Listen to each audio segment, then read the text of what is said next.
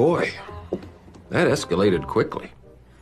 I mean, that really got out of hand. Fa- I love Tucker.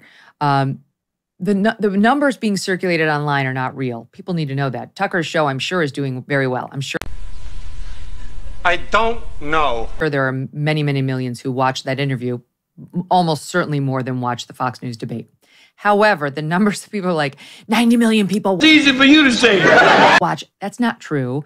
You get a view on Twitter if you hover over the over the like icon for just a couple of seconds. 90% of the time, I have no idea what the fuck I'm talking about. That's one of the frustrations of being on on the new X. You actually don't know. We as the consumers don't know how many people actually watched it. Sick as a dog now. Okay.